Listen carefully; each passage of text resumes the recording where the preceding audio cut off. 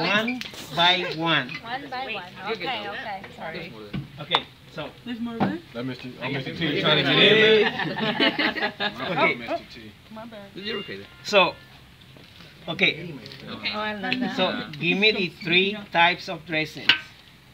Occlusive. The layers, right? Non-occlusive. Yeah. Oh. So you have the contact layer. Contact Contact layer. layer, intermediate. Give me an Intermediate example of layer. each. Example of Contact contact layer, layer. it's uh, Tolfa. Tolfa. Yeah, telfa, Telfa. Telfa. Xeroform, Vaseline gauze, Yes. which is this one, Yeah. Vaseline gauze. Those are all contact Those are the most common one.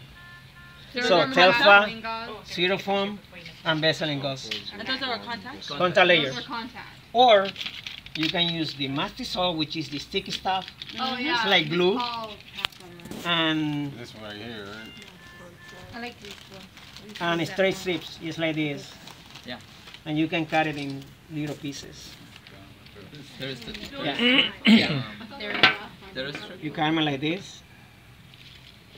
Can you can you guys bring me the uh, the uh, as, the uh, as, a simulate the simulated skin? The simulated skin.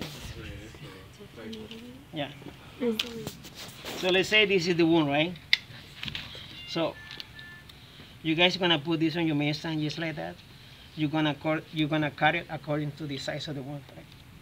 Either halfway or three quarters or you know whatever the size available.